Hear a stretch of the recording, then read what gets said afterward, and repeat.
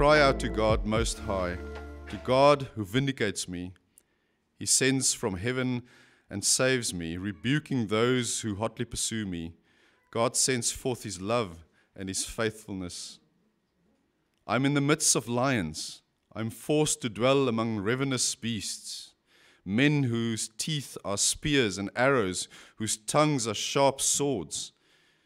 Be exalted, O God, above the heavens. Let your glory be over all the earth. They spread a net for my feet. I was bowed down in distress. They dug a pit in my path, but they have fallen into it themselves. My heart, O God, is steadfast. My heart is steadfast. I will sing and make music. Awake, my soul. Awake, harp and lyre. I will awaken the dawn. I will praise you, Lord, among the nations. I will sing of you among the peoples. For great is your love reaching to the heavens, your faithfulness reaches to the skies. Be exalted, O God, above the heavens. Let your glory be over all the earth. Good to see you. Fantastic to uh, turn to this psalm. So, as you note there, we've got it there on the, uh, uh, the screen for you. Uh, just to give you a little bit of background again, uh, this is part of the second book of Psalms. Psalms has got five books.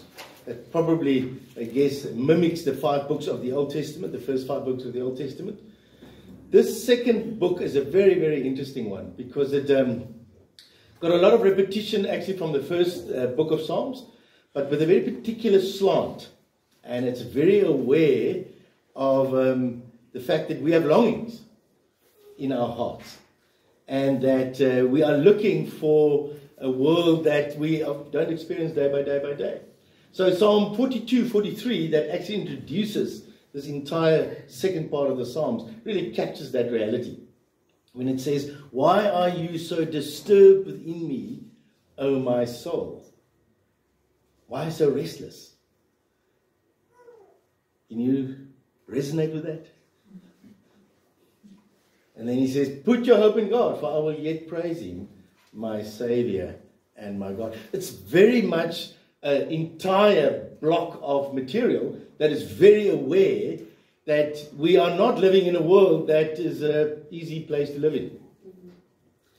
That we are not living in a world that naturally correspond with our hearts. Um, and that life is complicated and it's broken. And JJ has uh, reminded us this morning about that reality, these weird things that happen in our world. Four kids get saved after 40 days and other people not. And then there's all the other disasters that we don't even know about. And it's confusing, isn't it? It's, it's complicated to work it out, to figure out where you sit within all of that. Um, and the Psalms are really written, I take it, as a way for us to process our realities, our experiences of life. And David, obviously the great uh, psalmist, uh, often uses his own background and sometimes he doesn't. So in this psalm, we actually are told. Uh, this is when he fled from Saul into a cave. So it's, uh, the, David kind of ended up in caves quite a bit. So we're not sure exactly which, which of these caves he's referring to. Uh, but it does seem like it is in about 1 Samuel 22. He's just come from Gath. That was our previous psalm, Psalm 56. He has escaped from there. And then he runs into the cave of Adullam. Uh, and he then goes into uh, non Christian territory and even finds solace from the king of Moab. Um, and he's in this cave, and really weird things happening in this cave. 400 people who are discontent and owes a lot of money joins him. Really weird when you read the details of what's going on. Um, and in this section of the Psalms, you'll notice there's a couple of interesting things if you are interested in these details. Why they are like this, we don't really know. It's a bit more guesswork.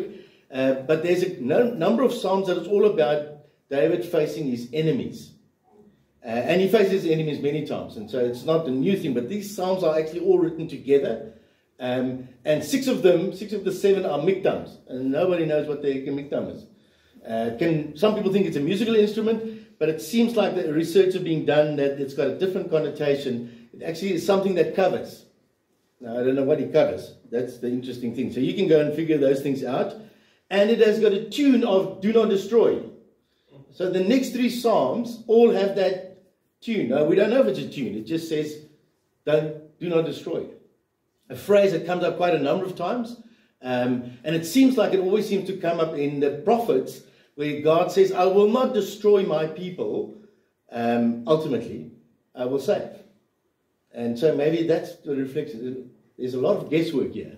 We are not told a whole lot of stuff. There are four Psalms with that heading do not destroy. Three of them come quite next to one another, and then only in Psalm 75, which is actually in the next book of Psalms, uh, there's another one that has do not destroy. So, for those of you who really like to spend your Sunday afternoons wrestling with things that we don't know, there are some conundrums for you to go and uh, figure out. But here, David is in the midst of his running away from Saul.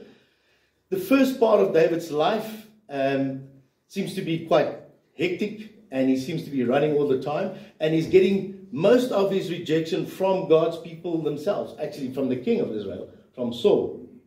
And David is wrestling with all of this stuff, and we're going to see next week it gets a little bit more hairy. So if you really are feel like uh, you are into heavy stuff, then next week is a good psalm to come back to. He's going to wrestle with this. Here he introduces us to where his heart is, like JJ said, and this is an incredibly positive psalm, a psalm of great faith, a psalm of great confidence in God. And we'll notice as you read the psalms that David is not always there. Sometimes he's right up there, and sometimes he's not. He's down in the dumps, and he doesn't know what's going on. And so, welcome this morning if you're a human being. Sometimes you're up there, you've got great confidence in the Lord, you are strong, your mind is clear, your heart is clear, and other times you don't know what's going on. Psalm 42 43. Three times in that refrain, I don't know what is going on in me. I'm depressed, I'm overwhelmed, and I don't know what to do. But when I don't know what to do, there's always something you can do. You can praise the Lord. How many of you find it easy to do that? So there's the one thing you can always do when you don't know what to do. You can praise the Lord. Kind of New Testament picks this up. So this is a really a reflection of a New Testament idea. One in, in, in one uh, Thessalonians chapter five, it says, sixteen. Anyone can remember? Rejoice always. Pray continually.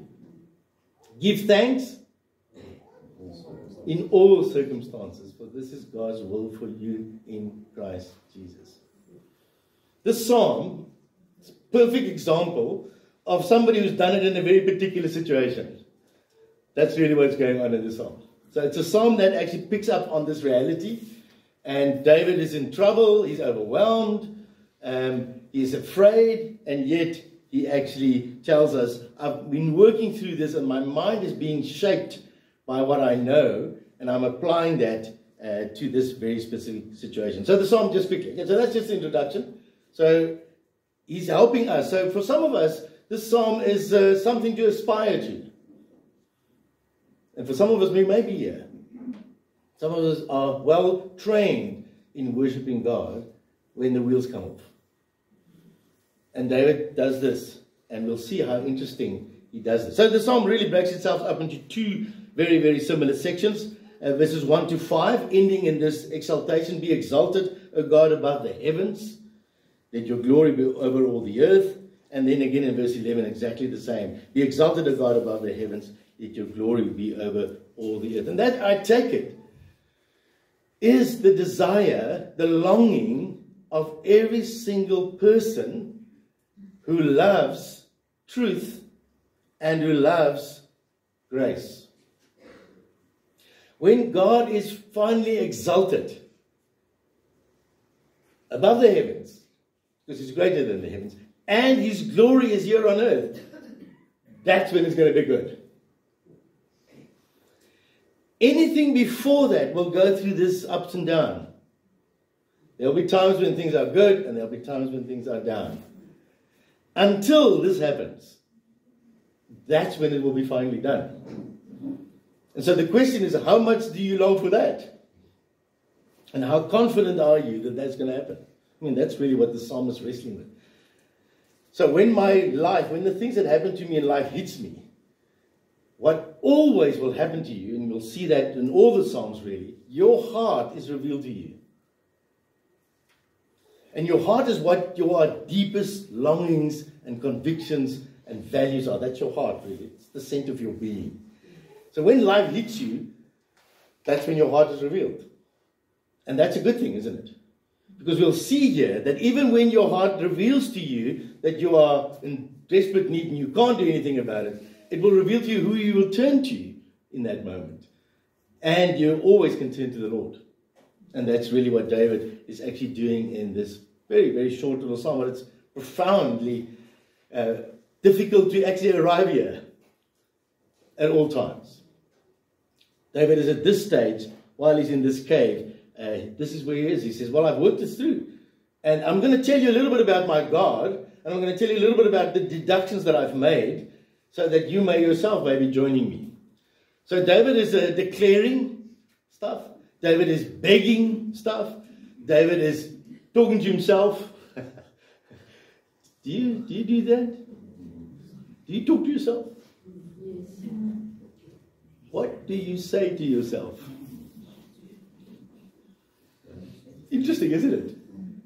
We all do that. I take it. The one person you actually listen to the most is yourself. Wherever you go, you're, you're talking. You're talking to yourself. You're analyzing, you're debating, you're deducting, you're making promises, you get frustrated. You're talking to yourself all the time. And so the Psalms are brilliant because they actually take us through this process that we sometimes go through as we try and make sense of where am I going to turn when I'm in this situation or in something similar. And so let's have a quick quiz. So the first section, he builds up towards this confidence in God, but he's got confidence already because he's crying out. Have mercy on me, my God, have mercy. The word really is not technically mercy. I don't know why the translation is actually grace. Now, uh, just for those who know Afrikaans, in Afrikaans is daar net genade. there is no mercy and grace. We don't have two words. We only have one word right? Which is, I guess, is fine. Mercy is more linked to sin. Lord, do not deal with me according to my sin. Have mercy on me. Where grace is, is a bit bigger.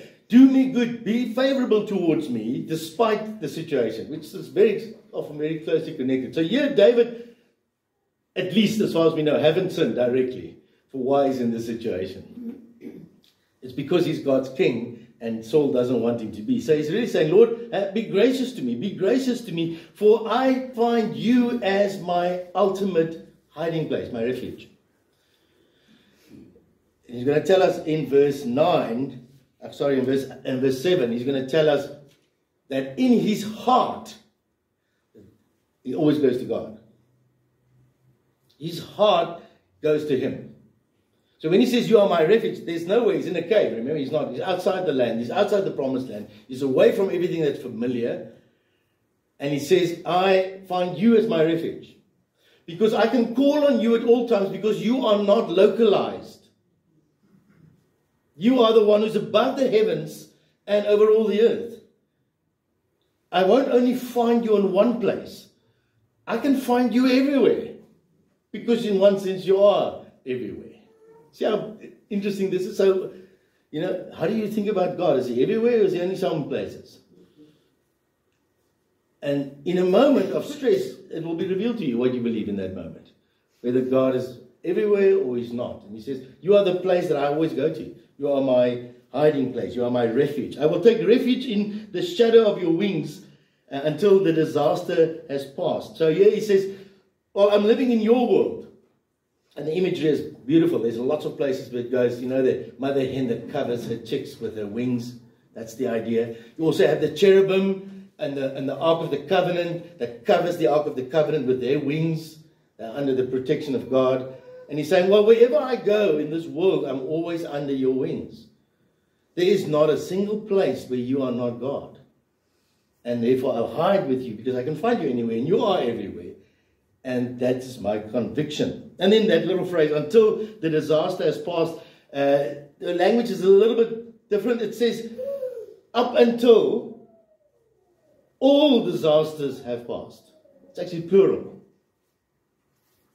So David is saying, I am going, at this moment I'm finding here, but actually, whatever disaster may come, I will come to you all the time because you will cover me with your wings, and all disasters will pass.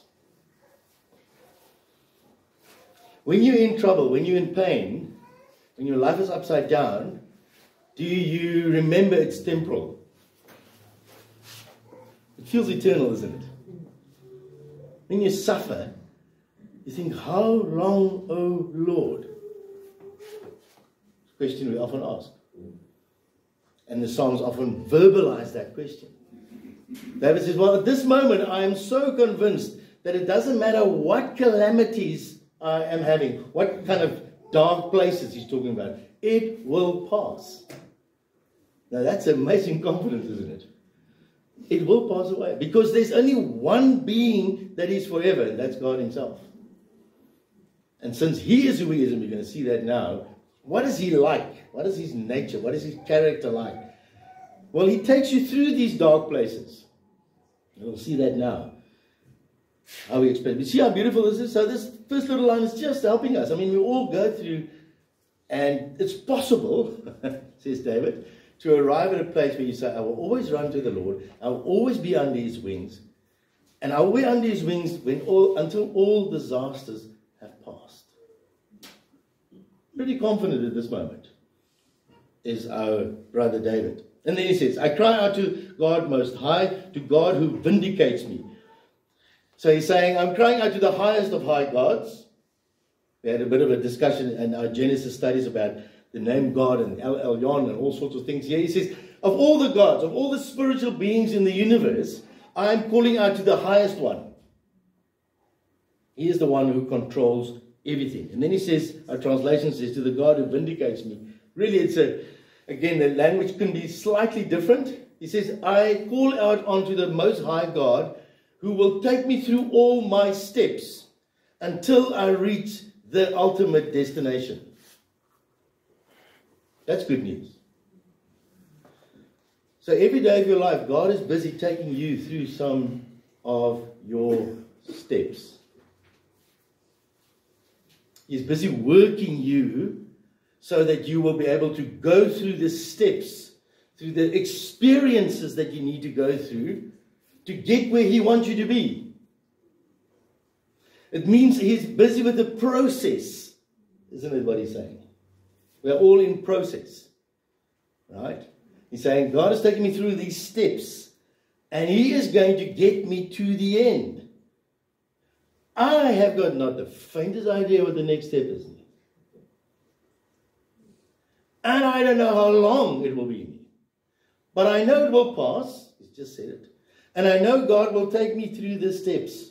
He will get me there. The New Testament says it He who began a good work in you will bring it until it is completed. So you are under construction. Your heart is under construction. Your entire being is under construction, says David. I have discovered that. And I want to give myself to that reconstructing process that God is busy with. So when you look at something, you can either look at it, this is disastrous and it's bad, and I must do everything in my power to get out of it. Or you can say, well, this is under God's hand, and I will ask Him to help me to take me through all the steps necessary so that I can get out of it. The one is battling to have faith, the other one is having faith, isn't it? God's process is to get you to recognize that He's God no matter what hardship you find yourself in. Because hardships are temporal, God is eternal. Will you go to Him, trust Him, wrestle with Him, walk with Him in the midst of these things? That's what David is kind of saying. He's sort of setting it all out in this little section for us. Amazing, isn't it? But not easily arrived at. Not an easy place to get to, I take it. And so he says, He sends from heaven and saves me. He is the one who intervenes from outside of my world. And he brings me deliverance. In this case, he will rebuke those who are hotly pursuing me, and God ultimately does that. God sends forth, and here it comes. What does God send forth in order to bring about salvation? Look at what he says. God sends forth his love and his faithfulness. Is our translation. Is that right? Yeah. First word, love is chesed. And we all know exactly what that means. Chesed is God's gracious, covenantal loyalty. It means when God says something, he cannot but keep it. Remember that when he made that covenant with Abraham just to help us in our weakness. Normally, when you made a covenant in the Old Testament, it was much more dangerous than today. Today we sign with our signature on this piece of paper. In those days, what you did is you took a couple of animals and you actually cut them in half and you put the halves of the animals across one another. About four or five animals. And then you would walk in between those animals, declaring, If I break my word, you can do to me what has been done to these animals. Anyone want to make a covenant? that was kind of literally meant cutting a covenant. That's what the word means. And so when God makes to Abram a covenant that he is going to bless the entire world through his offspring, God cuts a whole bunch of animals and he alone walks between those animals. And he says to Abram, If I break my word, you can cut me too. Now, I'm not sure who's going to do the cutting in that case. But isn't that amazing? God is actually giving for Abram a very, very vivid picture of the fact that I cannot break my word. I am not like a human. It is impossible for me not to keep my word. And here is the evidence of me doing it. And he says, Will you send forth your gracious covenantal loyalty. I know you will. God sends it forth. The reason why this universe is being upheld is because God is upholding it with the power of His word. And you go back to all the covenants. I will bring enmity between man and Satan. To those who are my people and those who are Satan's people. There will be. So you can be guaranteed there's going to be war. It says it. But despite that war, I will actually uphold this world and I will bring about my purposes. And I will call people from in that world that are suffering to cry out to me, and I will give them my love. I will give them my covenant commitment. I, this is what I'm going to do. And this is what God is busy doing, isn't it? And they would say, Well, you're doing it, so keep doing it, Lord. So send forth this unbelievable, gracious, covenantal commitment Keep doing it. And your faithfulness, which is in literal terms, your truth. Send forth your truth. The truth that only you can uphold this world. None of what we can do can uphold this world. Only you can save, no one else can save. Only you are the one who truly understands, we don't. And so he's saying, well, this is what we need. We need literally God's engagement all the time. And he thanks God that this is what he's going to do. And he's doing it in the midst Verse 4, he describes for us, and we're going to pick that up, verse 4, next week. For those who want to come back, we're going to look a bit more detail. Here in this context, he's saying one of the worst things that you can experience in life is when people malign you and go for your character and try and destroy you with their words. That's really what he's talking about in this immediate context. I'm laughed at, I'm mocked, I'm, all sorts of lies are being told about me. Uh, he says, That's my context that I'm in. But in the midst of that, he's saying to God, You do your thing. You take me through this because this will come to an end. Because of your covenantal commitment and your truth will get me through this. And then he bursts out Be exalted, O God, above the heavens. Let your glory be over all the earth. That's what I ultimately want. I ultimately want you to be glorified. I want you to reign this entire world. The heavens and earth belongs to you. We pray that every time we pray the Lord's Prayer. May your name be glorified. May your kingdom come. May your will be done on earth as it is in heaven. That's all summarized in that one verse. Beautiful, isn't it? Beautiful prayer, beautiful longing, beautiful hope, beautiful thing to look forward to that God would do that. And David says, Well, I'm, this is where I am at the moment. And then he reverts back in verse 6 They spread a net for my feet. I was bowed down in distress. They dug a pit in my, in my path, but they have fallen into it themselves. You find this basic thing? Whatever you sow, you reap. So if you're going to sow against God's people, you will reap God's judgment. Pick that themes up right through the New Testament over and over again. God will pay back trouble to those who have troubled you, says Paul to the Thessalonians. Fascinating language. No one ever escapes anything. God is the only one who can actually sort that out. And that's why it's the right place for you now to go to Him. And here He comes. My heart, O oh God, is steadfast. My heart is steadfast. I will sing and make music.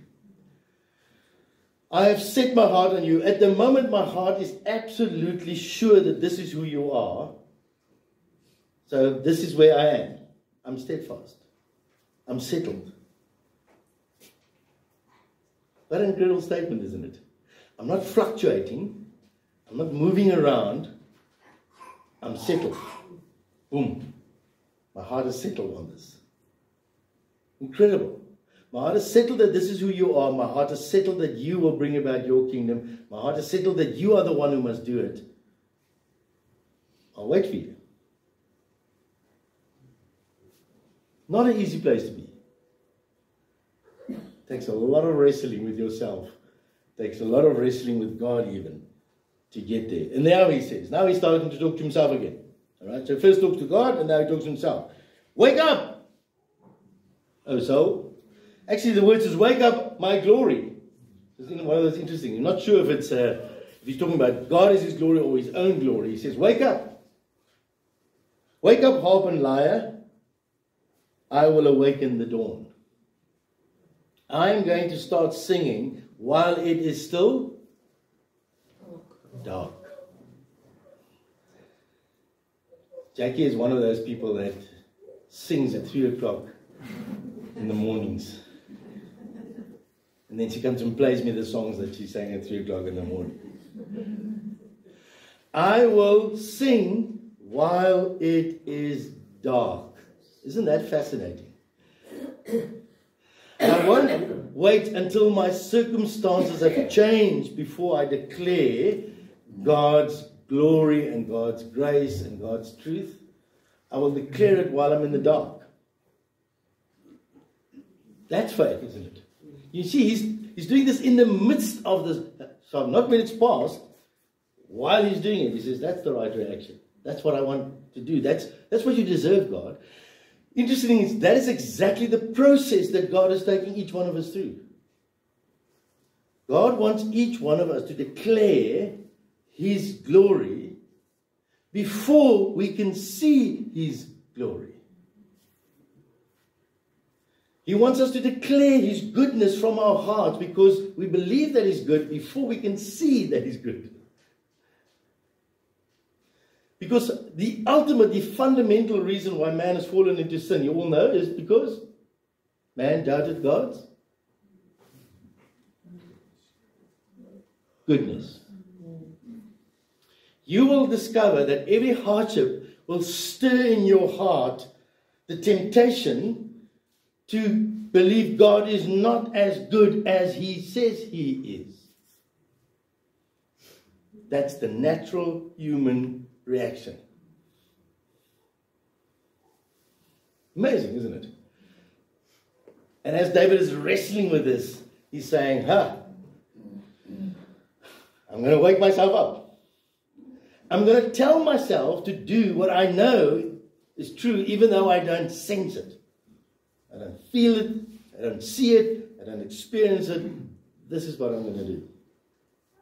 I'm going to declare him. I will praise, verse 9. I'll praise you, O Lord, among the nations. I will sing to you among the peoples. I will praise you. It's interesting. He says, I will speak so truthfully, accurately about who you are before all those who don't know you. And that's literally where he is. He's outside of Israel.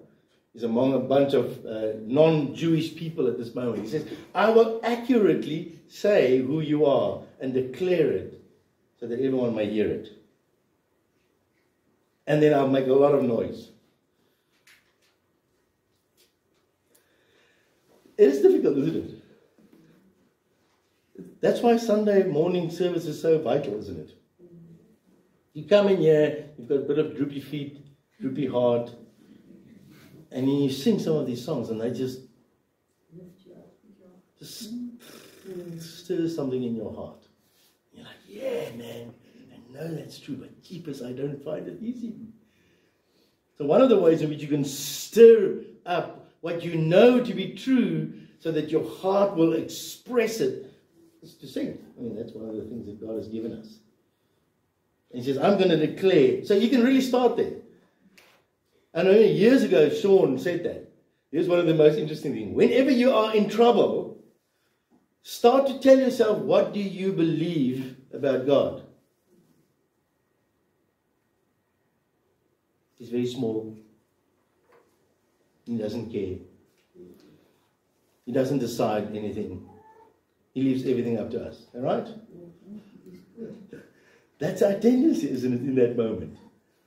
What does your heart declare to you about what do you believe to be true about God in all the covenants that He's made? And that's what David is wrestling with. So he's sure, he's happy, and yet he says, I've got to wake myself up. I've got to get myself there because I am not there.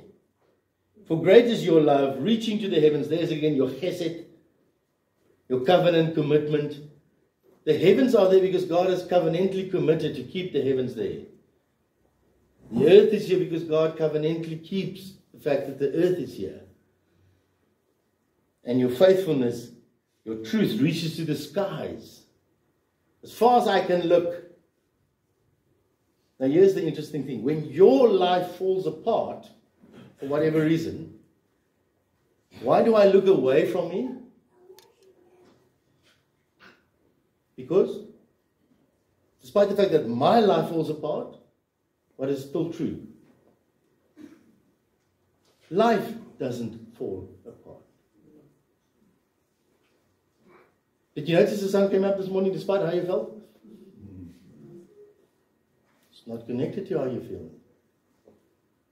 Your life may fall apart. Absolutely. And it can happen. I mean, David is here running for his life. But he says, because I look away and I see this enormous world upheld by God's covenantal faithfulness and truth, when my life falls apart, I remind myself that life doesn't fall apart. Because there's a God that upholds all of life. Now that you don't arrive at that easily, do you? Keep on hampering at that because that's the entire second book of Psalms is involved with this wrestle for what we hope, what we long, and what we can anticipate, and what we can see, but we don't experience in its fullness. We all are longing for the fullness of God's kingdom, isn't it? Looking for that place where there's no more tears, no more fear, no more sin, no more brokenness, no more hatred, no more death, we're all looking for that world, aren't you? In the midst of this world, I come and go, but life doesn't come and go. God holds it. So will you trust Him in getting you where you need to be in this big picture of what God is busy doing? That's what David at this stage seems to be fairly confident, and that's why he ends. Be exalted, O God, above the heavens, let your glory be over all the earth. Oh, how I long for all of this to actually be. This is the cry of my heart when I am in the darkness. And I'm going to wake myself up I'm going to start screaming because the light is coming. God is not abandoned this world, even though it may feel He's abandoned me. I know that He is the one that will change that. In the psalm, whole psalm, I mean, quite obvious where it fits in, isn't it? When Jesus Christ came, he came full of grace and truth. Where did he come from? Up the heavens. You send forth from the heavens. You send your grace and your truth to infect life on earth. And in the end, you will bring it all back together again. Isn't that what we believe? That there's one person in this universe that can actually fulfill all the desires of a human heart and all the desires of all human hearts. He's come from heaven, he's come to earth, he's infected the earth with his grace and with his truth. And he will sum it all up again when he comes again. And that's David's great joy. And that's our joy, isn't it? So now we see not everything yet under the rulership of Jesus Christ, but we see Jesus, who overcame and conquered every single thing. And he said, Put your trust in me, and you will actually experience that reality. So, we've been a little bit encouraged to wrestle? Maybe you are still stuck in Psalm 42. Why are you so disturbed within you? He's talking to himself. Maybe you don't know why you're disturbed. It's okay to be disturbed. You don't have everything in your hands. Wrestle with the reality of God. That I'll put my hope in God, for I will yet praise Him, my Savior and my God. Sometime in the future, I'm going to praise Him again, flat out. But I'm going to start while it's dark. And that's what He encourages us to do. So, how far are you in the process of reacting to your darknesses, to your confusion, to your hurt, your burdens with starting to play this through your head so that you may arrive increasingly at I am going to worship him because of who he is and what he's done and what he will do. That's what David is actually encouraging us, I take it. So let's take one another's hands and help one another along the road. Speak your pain, speak your frustration. Lots of the Psalms actually do that. But also speak to yourself about the truth and the reality and the goodness of God. And then play off the two against one another. Which one weighs the heaviest? Which one has got the most reality and truth to it? You or the Lord? And that is the process that He's taken us. And He's going to get us there. That's the good news. Let's pray together.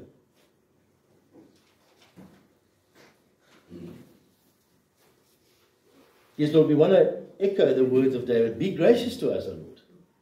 Be gracious to us. For we want to take our refuge in you.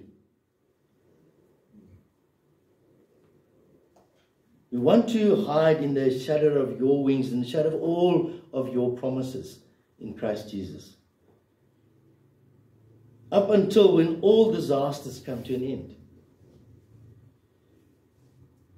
Lord, and there are many. So we thank you for the lessons you have taught us over the years and are currently teaching us. That we are very, very small and our abilities are very, very low. But we know the one who upholds all things. So our longing is, Lord, that you will be exalted. You will be who you are. You will be known for who you are. That every tongue will confess you as Lord, as God, as God Most High, as all powerful one. And may your glory, your splendor, your holiness, your kindness, your truth, your forgiveness, your power, your weakness. May your glory be over all the earth. How we long, Lord, for a world that is not so mad as the one that we are living in. So we pray, be gracious to us. Enable us, Lord, to go through the steps that you are taking us through. Help us to place our hand in your hand. And help us to walk through this world, this life, so that we may indeed receive from you everything necessary for life and godliness. So I pray, Lord, for everyone here, for every single person, for those who may know you, may not know you, those who are wrestling currently, those who think, I'm not sure I'm ever going to get here. We pray that you will be gracious. Because you, Lord, can change our hearts and our dispositions in the blink of an eye. So we bring ourselves to you. We want our hearts to be steadfast in the midst of trials. We even want to go as far as James says we should go. We should consider it all joy when we suffer trials of many kinds. Lord, most of us aren't there. most of us are still battling to do that.